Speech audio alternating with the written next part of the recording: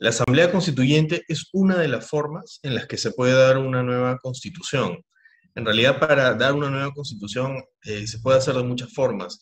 Y la Asamblea es el mecanismo por el cual eh, podemos reunir a diferentes sectores de un, país. Eh, la forma de elección se da en cada caso concreto, no es que haya una forma preestablecida, pero lo que se busca es que esto recoja la mayor cantidad de pareceres dentro de una sociedad determinada. Así hay asambleas constituyentes que se constituyen de forma eh, territorial, es decir, eh, se elige algunos representantes por departamentos, regiones, dependiendo del país, y otras que recogen pues eh, o, o, generan algunas cuotas para algunos sectores, generalmente aquellos históricamente desplazados, y que pueden ser incluidos en la asamblea, que es eh, el organismo que eh, va a elaborar o elaboraría una constitución, ¿no? Y aquí las fórmulas son muchas, ¿no? En el Perú hemos tenido una asamblea constituyente para la constitución del 79, que fue la que elaboró y dio la constitución, ¿no? Eh, pero también tenemos otros modelos en los que la asamblea da la constitución eh, sobre la base de, algunos, eh, de, algunas indicaciones que el pueblo ya ha aprobado mediante referéndum, que es con un referéndum eh, previo, programático, o con un referéndum posterior que lo confirme. Entonces las fórmulas en realidad son muchas para poder dar una nueva constitución. ¿Se podría prohibir la convocatoria de una asamblea constituyente? ¿Sería mediante una reforma que debe pasar por el Congreso o solo mediante un referéndum?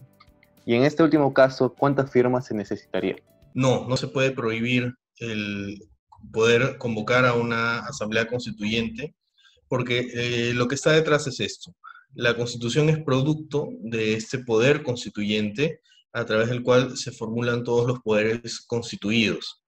Y, eh, y estos se deben o encuentran su legitimidad y su origen en el poder constituyente.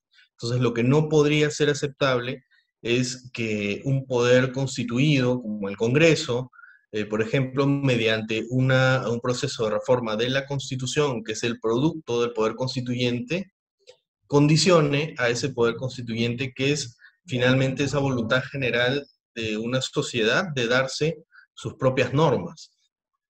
Eh, en la teoría constitucional eh, clásica y, y, la contemporánea también, es el poder constituyente es este poder originario desde el cual se dan todas las normas. Y si una sociedad decide cambiar estas normas, eh, está en todo su derecho de poder hacerlo, aun cuando formalmente se quiera aprobar una normativa que trate de evitarlo. Este, eso no jurídicamente no sería eh, factible. Eh, si bien es cierto, esto no se puede hacer, desde luego esta es una una discusión que abre un debate que es necesario tener y que es eh, interesante para poder discutir justamente los alcances de una idea de reforma total, reforma parcial o de una nueva constitución. Frente a la pregunta de si se debe pasar por el Congreso. Aquí hay varias alternativas. En realidad, eh, de acuerdo a la teoría constitucional, no es necesario pasar por el Congreso porque estamos no ante un escenario de reforma ni de reforma total, donde suele haber bastante confusión, sino un escenario de nueva constitución. Es decir, la voluntad del pueblo de darse unas nuevas normas. Y frente a ese poder constituyente no puede haber ninguna norma, ni siquiera la constitución, que evite esa, ese acuerdo político del más alto nivel. Eh, las constituciones generalmente tampoco disponen entre sus, en su articulado eh, alguna disposición que evite que pueda darse este evento, porque eh, generalmente una constitución no va a prever su propio fin, lo que va a prever es las posibilidades de reforma, pero eh, siempre está abierta la posibilidad de que pueda hacerse este cambio. Y este cambio también es importante señalar de que en la teoría constitucional no está sujeto a un Congreso eh, dado que en algunos regímenes, por ejemplo, el mismo acceso o la representatividad o la legitimidad de los congresos no ha sido históricamente eh, alta. pensemos, abstraigámonos por un momento del, escenario peruano y pensemos en, un escenario en el, en el, que un Congreso pues solamente pueden ser representantes hombres, solamente pueden ser representantes mayores de 40 años, solamente pueden ser representantes propietarios. Entonces, presumir de que ese Congreso realmente representa la voluntad de toda la ciudadanía eh, sería bastante complicado y exigir de que se tenga que pasar por ese Congreso para eh, lograr un cambio en la Constitución eh, no parece ser lo más democrático. Ahora, desde luego no estamos en esa situación y nuestro Congreso y los congresos contemporáneos son bastante más representativos, pero ello no quiere decir de que sean eh, en estricto los organismos eh, más legitimados para tomar ese tipo de decisión. Finalmente, son también poderes constituidos y si bien en, los procesos más recientes como el de Chile se ha buscado que esto eh, parta de una reforma de la Constitución, este no es un requisito estrictamente necesario, como ha sucedido en otros países como en Francia hace algunos años. Eh, lo importante acá, eh, más allá del procedimiento, es que la idea de darse una nueva constitución tiene que nacer de un consenso nacional y, tiene que haber un conjunto de voluntades políticas que den lugar a este cambio en la constitución. Según Ramón Peralta, el poder constituyente responde a momentos constituyentes, como puede ser eh, que un Estado deje de tener un sistema jurídico, pero también cierta parte de la doctrina, así como lo acaba de mencionar, eh, afirma que el poder constituyente tiene un momento constituyente cuando hay un consenso político para convocar. ¿Usted cree que en nuestro panorama nacional o en nuestra realidad política estamos frente a un momento constituyente? En la doctrina se han desarrollado varias eh, ideas sobre cuándo es que se debe dar o se puede dar una constitución. Eh, para algunos, eh, esto se ha verificado claramente en procesos revolucionarios o en, procesos en los que se crean eh, nuevos países o incluso en procesos en los que intervienen poderes externos para la creación de un país o la, o la separación de, de regiones de un país. Y esto se ha verificado históricamente eh, en, diferentes momentos. Pero también eh, hay otro tipo de justificaciones para dar eh, una nueva constitución que parten de los propios hechos internos dentro de un mismo Estado, que pueden ser, el, y que los hemos tenido en el Perú, ¿no? cuando, cuando se ha dejado de lado una constitución al punto de que formalmente sigue existiendo, pero en la práctica ya no lo ya no se encuentra vigente, como pasó con la Constitución del 33, eh, o este, momentos en los que se pasa de un, de un régimen eh, dictatorial y, se, y entramos a democracia, ¿no? Como eh, pasó con la Constitución del 79 o en el caso español con la del 78. lo cierto es que hoy en día estos momentos son cada vez más extraños. Y en momentos de paz, lo, regular sería de que vayamos a un proceso de reforma constitucional mediante las vías eh, jurídicamente previstas. Pero lo cierto también es que en países como Chile, en donde se ha expuesto o, se está dando en este momento un proceso constituyente, se ha discutido también si es que eh, es necesario eh, esperar que haya estos momentos de crisis para dar una constitución o si no, eh, es también válido eh, hacerlo en un momento eh, pacífico donde las fuerzas políticas realmente puedan discutirlo abiertamente. ahora, si en el Perú estamos en un momento constituyente, creo que hay muchas opiniones al respecto, hay muy buenos argumentos en, en ambos sentidos. Personalmente no lo creo, eh, creo que estamos en un momento más bien de polarización política que va a ser muy difícil generar los consensos que se requieren para dar una nueva constitución, lo cual no significa de que ese consenso no pueda construirse. Eh, desde luego hay opiniones eh, contrarias a lo que acabo de decir, pero justamente es, es una materia que nos invita a debatir y a eh, presentar argumentos en uno y otro sentido. En caso se convoque una asamblea constituyente, ¿esta tendría ciertos límites? ¿Podría suprimir ciertos derechos, cambiar el modelo económico o no respetar algunos tratados internacionales a los cuales nos encontramos suscritos? A lo largo del siglo XX se han desarrollado diversos autores, han desarrollado eh, doctrina y posturas sobre cuáles pueden ser los límites a ese constituyente futuro. Y dentro de esos límites hay algunos que son eh, perfectamente aceptados y son eh, pacíficos en doctrina, como la vigencia de los derechos humanos, y el respeto a los, a los tratados.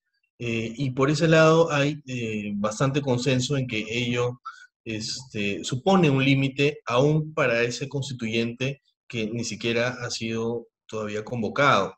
Donde sí hay un espacio para el debate es eh, con, el, con un, par de conceptos que seguramente van a encontrar en la literatura eh, que tiene que ver con procesos constituyentes, que es la idea de la constitución histórica, por un lado, y por otro lado, eh, del núcleo duro de la constitución.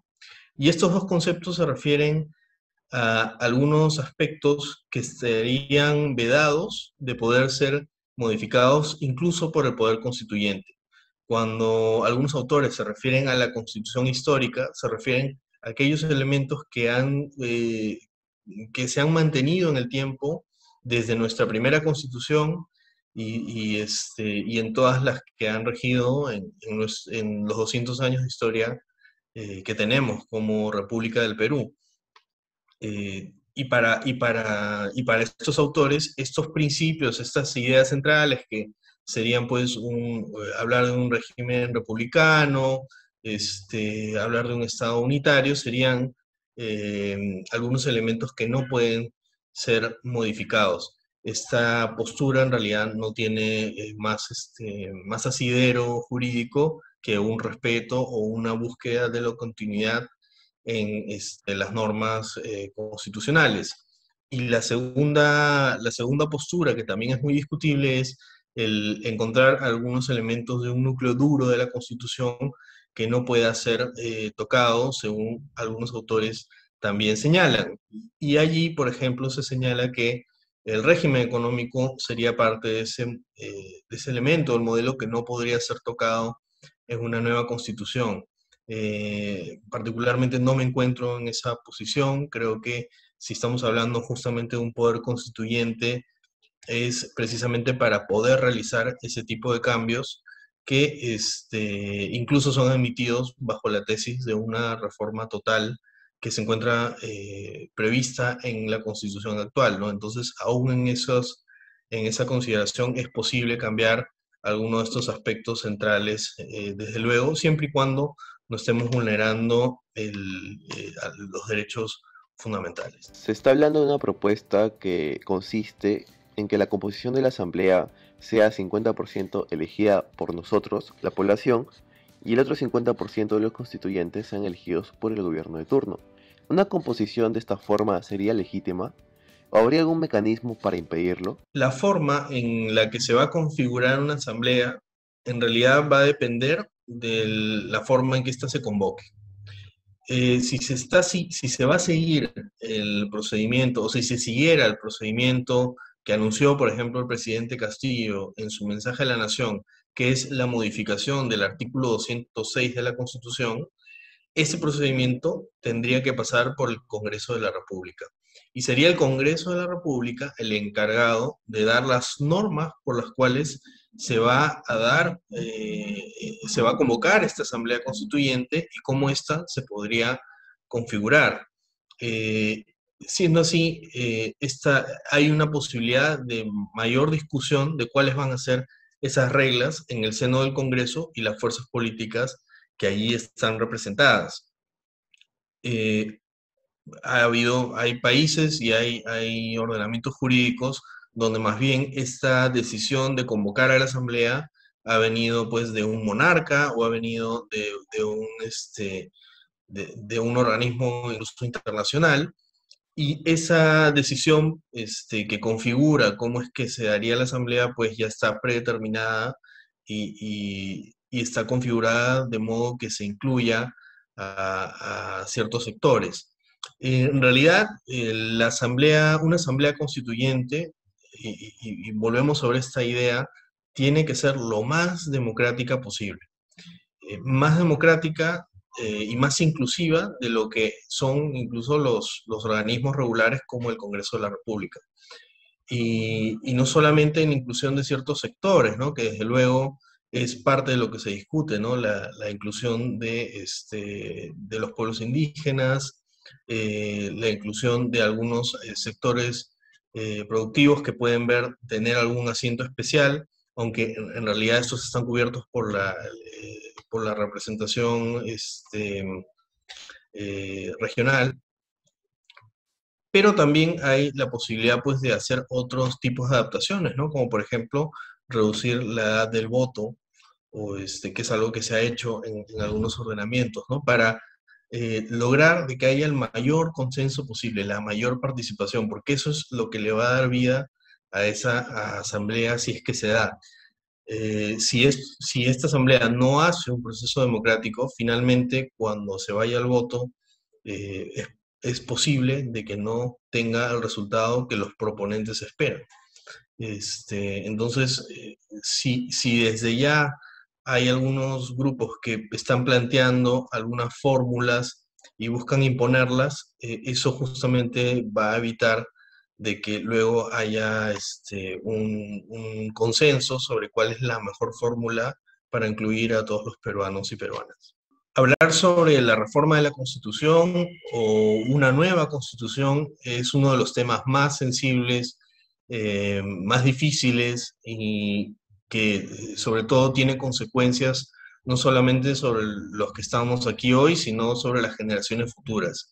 Entonces es un tema que tiene que tomarse con mucha responsabilidad y al momento de formular nuestras propuestas o formular eh, lo que queremos y, la visión que tenemos del país, eh, tenemos que ser conscientes no solo de nuestra postura y de lo que nosotros pensamos, sino de que esta va a tener que discutirse y debatirse con los demás, y es en ese debate con los demás que se va a llegar a los consensos para eh, gobernar el país. Entonces, mm, tenemos que tomar siempre en cuenta que no solamente importa lo que uno piensa, sino también lo que los demás plantean y cómo llegamos y cómo encontramos ese punto medio que nos permitan dar reglas para gobernarnos entre todos.